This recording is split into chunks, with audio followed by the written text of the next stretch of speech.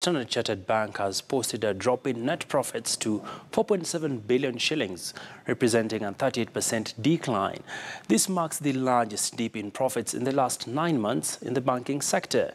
The bank's loan book shrunk significantly to 122.7 billion in December to 114.2 billion shillings in September. The bank has attributed this to a mix of issues, namely bad loans as well as the rate cap, which was introduced last year.